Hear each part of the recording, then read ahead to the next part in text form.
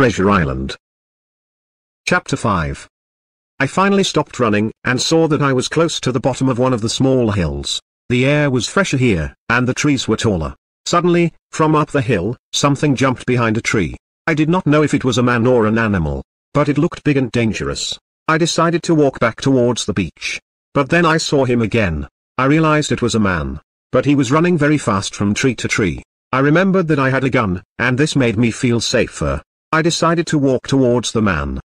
When he saw me walking towards him, to my surprise, he came out from behind the tree, and knelt down in front of me. Who are you? I asked. Ben Gunn, he said in a dry voice. I've not spoken to anyone for three years. The man had very long hair and skin that was burned by the sun. His clothes were dirty and made of old sails. What happened to you? I asked.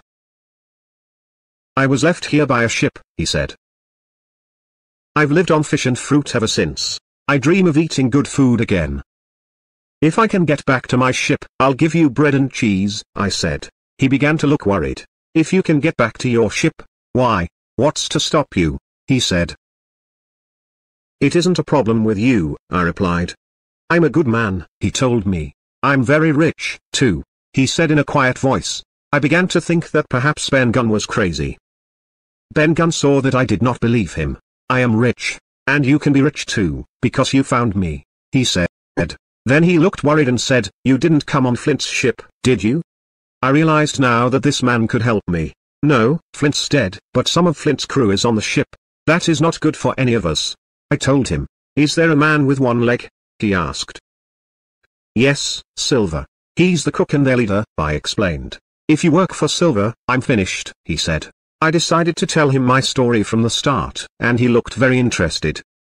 You're a good boy, he said at the end. Don't worry, you can trust me. Do you think that Trelawney would give me money and allow me to come home on the ship if I helped him? he asked. Of course, I replied, and he'll need your help on the ship home, I'm sure. You're right, he said. You know, I was on Flint's ship when he hid the treasure here.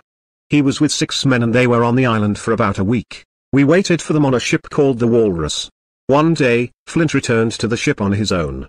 The other six men were dead. We don't know how he did it.